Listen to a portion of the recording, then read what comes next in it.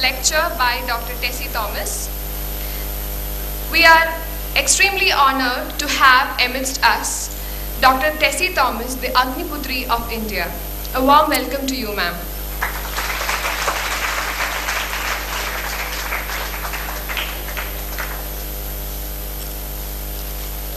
I also extend my welcome to Major Joy Das Gupta. We are honored to have you here, sir.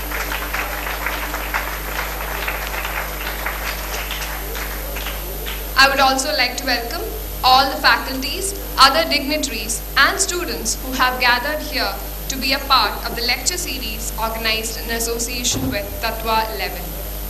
A very warm welcome to one and all.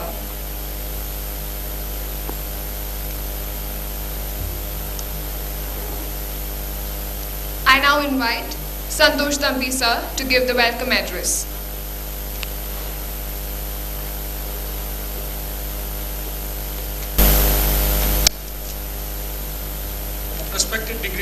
On the dais, my esteemed colleagues uh, from the faculty and from the non-teaching staff, uh, my dear students, dear participants, distinguished invitees, ladies and gentlemen.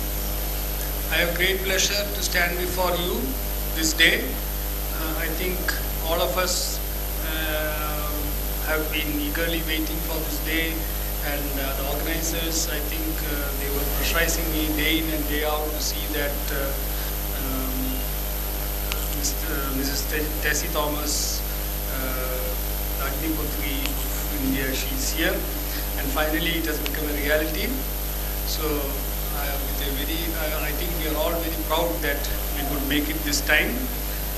I, uh, I cordially invite, uh, welcome uh, Mrs. Tessy Thomas to this function. Thank you. Uh, it was very difficult for her to make this visit. When I contacted her, uh, she was quite busy with the uh, preparations for the launch of the um, missile. In fact, one was over last month end and uh, two more are scheduled for the coming month, early coming month. So it was quite difficult for her, and but uh, she was somehow very magnanimous to give us an opportunity uh, finally. So I personally and on behalf of the organizers express my thanks to her, and once again I welcome her to this function. I, I take this opportunity to also welcome Major uh, Das Gupta, uh, who has been here and who would like to talk about career opportunities in the Indian Army to the participants to this function. I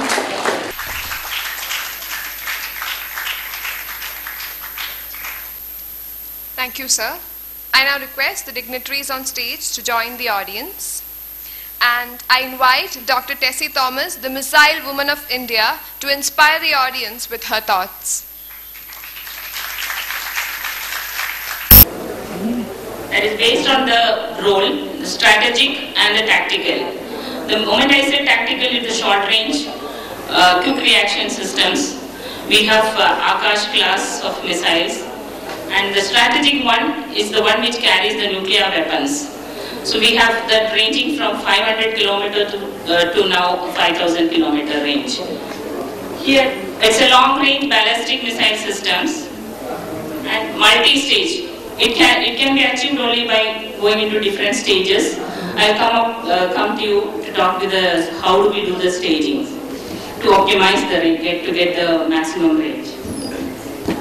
Highly sensitive to the error. You have to have a uh, maximum accurate systems so that we achieve the target within a few uh, meters.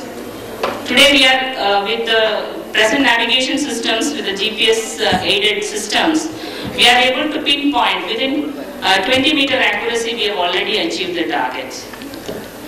And highly unstable, when I say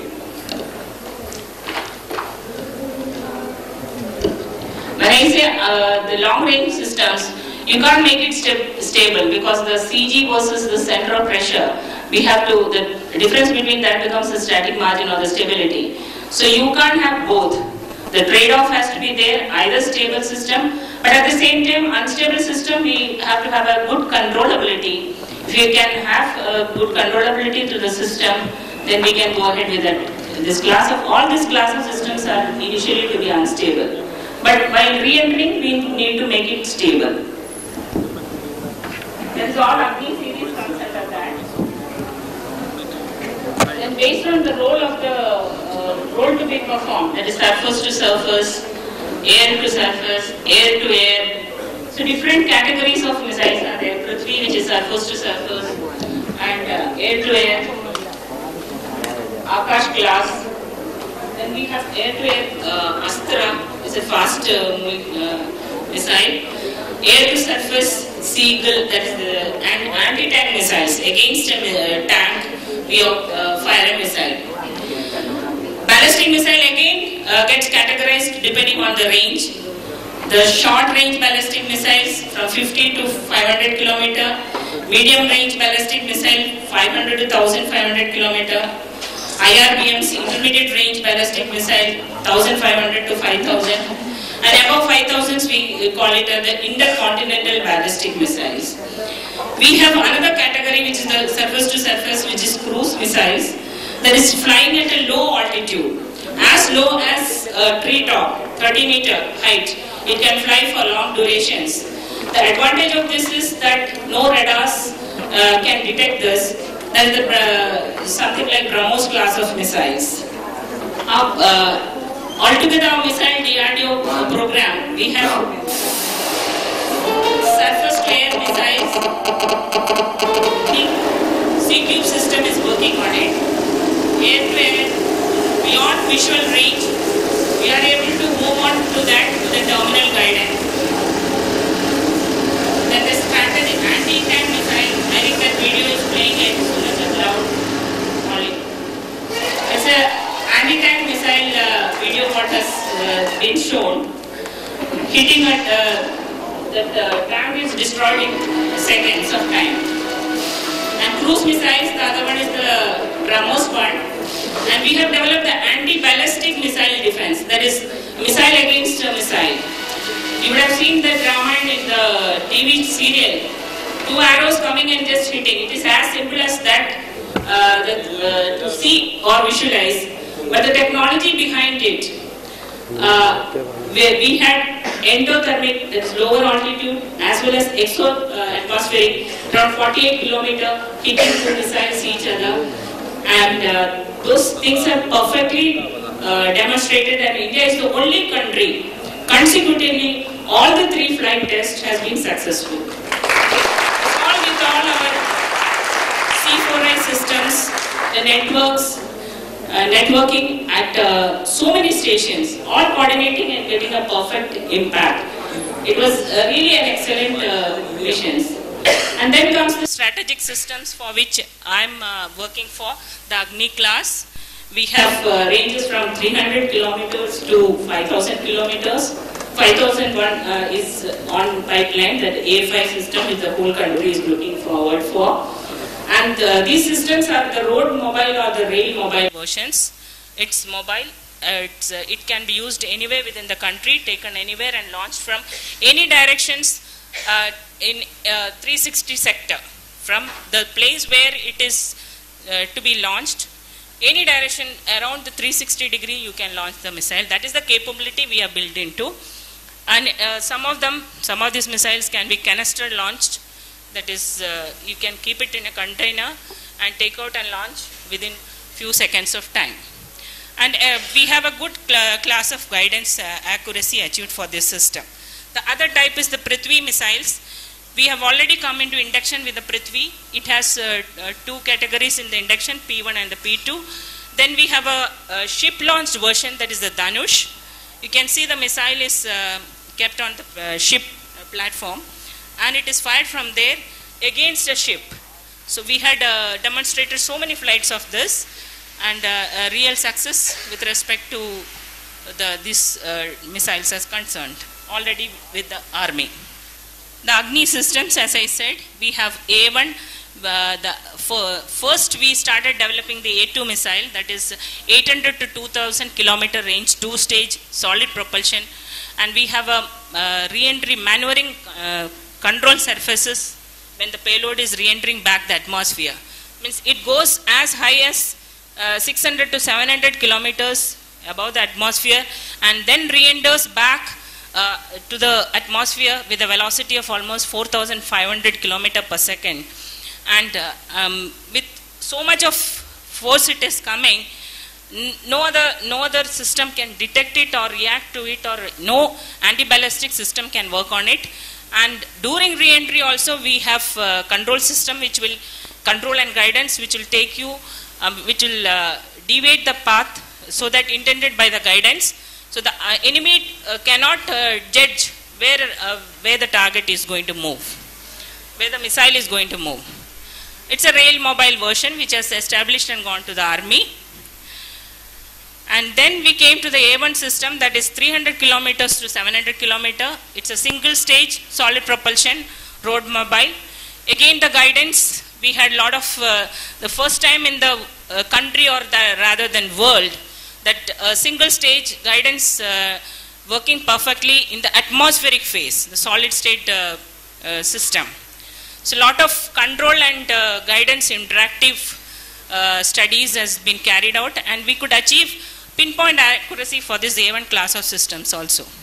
Then we have A3 which is ranging up to 3000 kilometer, it's two stage uh, solid. All azimuth, what I meant, the uh, all around uh, three, uh, the 0 to 360 we can cover the range. A rail mobile system. Then the A5 system which is 5000 kilometer and above and three stage solid canisterized launch. It can be carried anywhere by road and launch it from anywhere within the country. It's road mobile. I'll come to the technologies what. As you all are uh, from the engineering background or the science background, see uh, when you when you are asked to design a missile, we start from uh, 21 meter long, 12 meter, 15 meter, the size of the motor, diameter. So all these are the what is the first the missile configuration. How to achieve?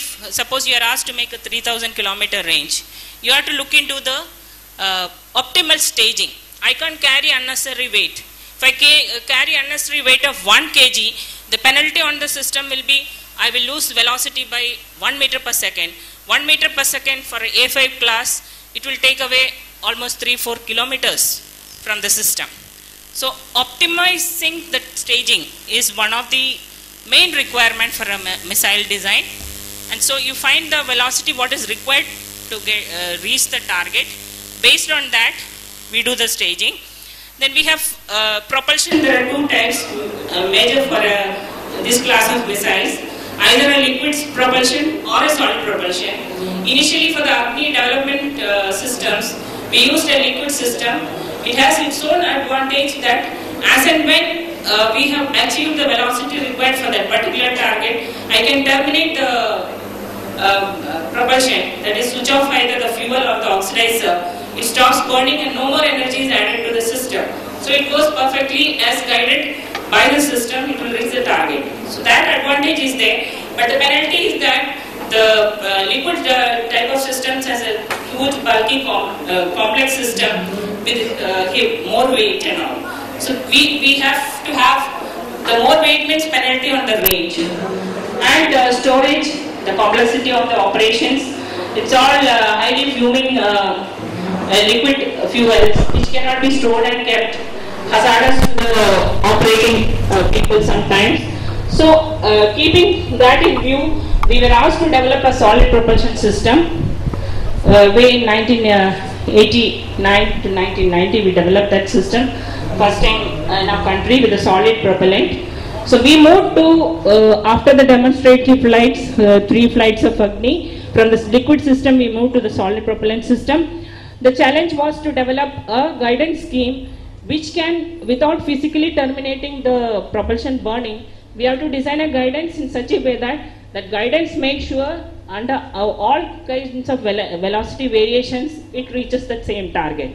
So that was a task uh, given to me in that uh, initial days of when I joined the DRDO, uh, wherein which I have uh, generated the guidance uh, law. So that is based on like uh, being a solid uh, propulsion system. It's, it burns like as if we have lighted a cigarette. It keeps burning. We, unless otherwise it